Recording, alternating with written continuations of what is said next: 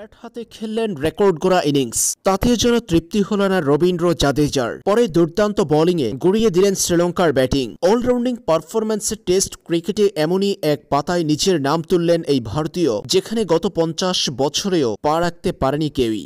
শ্রীলঙ্কার বিপক্ষে চলমান বহালি টেস্টের প্রথম ইনিংসে একশত পঁচাত্তর রান করার পর বল হাতে পাঁচ উইকেট শিকার করেছেন রবীন্দ্র জাদেজা। কোনো এক টেস্টে দেড়শো ছাড়ানো ইনিংস ও ইনিংসে পাঁচ উইকেট নেওয়া ক্রিকেট ইতিহাসের ষষ্ঠ বলার তিনি। সবশেষ এই কীর্তি গড়েছিলেন পাকিস্তানের মুস্তাক মোহাম্মদ। উনিশশো তিয়াত্তর সালে নিউজিল্যান্ডের বিপক্ষে ডানেডিনে প্রথম ইনিংসে দুইশত এক রান করেছিলেন তিনি। পরে ম্যাচের শেষ ইনিংসে উনপঞ্চাশ রান খরচায় পাঁচ উইকেট পেয়েছেন মুস্তাক মোহাম্মদ। দীর্ঘ অপেক্ষার পর ক্রিকেট বিশ্ব আবারও এমন অলরাউন্ডিং পারফরম্যান্স দেখল জাদেজার কাছে। শ্রীলঙ্কার বিপক্ষে তার অসামান্য ইনিংসটি ভারতীয় ক্রিকেটের নতুন এক রেকর্ড সাত নম্বরে নেমে দুইশো আঠাশ বলে সতেরো চার তিন ছক্কায় একশত পঁচাত্তর রানের দুর্দান্ত ইনিংস খেলেছেন রবীন্দ্র জাদেজা। এই পজিশনে বা এর নিচে ব্যাটিং করে এত বড় ইনিংস আর নেই ভারতীয়দের মধ্যে।